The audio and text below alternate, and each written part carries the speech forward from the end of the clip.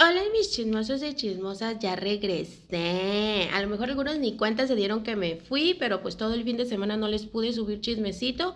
Yo pensé que para el viernes ya me iba a sentir mejor, pero lamentablemente no fue así. Tuve que ir a que me pusieran otra inyección porque se me cerró la garganta. Yo no sé por qué siempre que me enfermo no puedo hablar.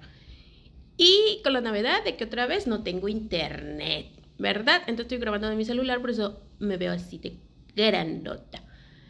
Y les traigo chismecito de uñas. Fíjense que me encontré a una usuaria en TikTok que pone uñas y siempre sube conversaciones con sus clientas.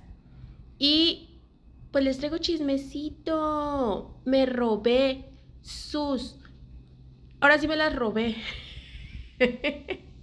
Porque no se pueden descargar y les tomé captura de pantalla. Por ahí aparece el usuario. Vamos con el chismecito. Ya voy a llegar. Marco, pero no me responden. ¿Cómo es el local? ¿De qué color? Hola, tu cita se canceló. Tu tiempo de tolerancia era hasta las 7:45. Te estuvimos marcando, pero no nos respondiste. es que iba hablando por teléfono. Pero ya estoy llegando. Espérenme. Una disculpa, pero ya cerramos, hermosa. Te marcamos para ver si estabas cerca e igual podíamos esperarte un poco más, pero no tuvimos respuesta. Te estoy diciendo que venía en una chamata. Aparte el tráfico. ¿A poco no van a saber que a esta hora está horrible? Y ya llegué.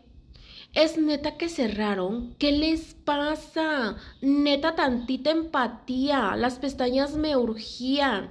Hice cita con dos semanas de tiempo. Porque las necesito para mañana. Neta, ¿qué onda? Entonces mañana me van a atender. Mi camión sale a las 10 de la mañana. Ay, no puede ser. Qué estrés contigo. Son testa mañana no podemos atenderte y ya no estamos en horario laboral. Que tengas buena noche. Y luego, pues solucioname, porque yo tenía mi cita hoy y ya pagué las pestañas y mi dinero qué? ¿Ya se perdió? Neta por no esperarme poquito si ya venía. Desde el momento en que quisiste agendarse te dijo que en ese horario solo se agendaban citas con pago total del servicio bajo las mismas políticas del anticipo. Pero ¿por qué si no me atendieron no es justo? Si ya les pagué, mañana atiéndame temprano. No tenemos espacio. Que tengas buena noche. No es que no. No me parece de ninguna manera. Que se queden con el dinero todo. Y luego sí, atenderme. ¿Cuándo se fueron? ¿Por qué no? ¿No le puedes cancelar a la de las 7 mañana? A mí me urgen porque me voy. Mira, mañana atendemos desde las 10 a.m. No atendemos más temprano. Y te voy a pedir que ya no me marques. Tengo más de 30 llamadas tuyas. Y como ya te dije, no estamos en horario de atención. Que tengas una excelente noche. ¿Y no te puedes levantar más temprano? Neta, ¿qué onda con su servicio? Si ya les pagué, no me puedes negar. Nos pagaste por una cita el día de hoy a las 7 pm. No llegaste. Tu cita se canceló. Ese dinero no es reembolsable. No, es que no. Ay, no puede. SLB. ¿Qué? Neta, qué poca empatía. Piensas en los demás, no nomás en ti, egoísta. Te estoy diciendo que tengo un maldito viaje. Haz algo, ¿sí? ¿Mm? ¿Me bloqueaste? ¿Mm? Sí, ya te dije que no me marques. Pasa mañana por la mitad de tu dinero a las 10 a.m. al local. Buenas noches. No quiero eso. Atiéndame. No me interesa atenderte. Te esperamos mañana. Adiós. Pues ni la ida. Tráeme mi dinero a mi casa entonces. Yo te lo llevé a tu local. Pues tráemelo a mi casa ya.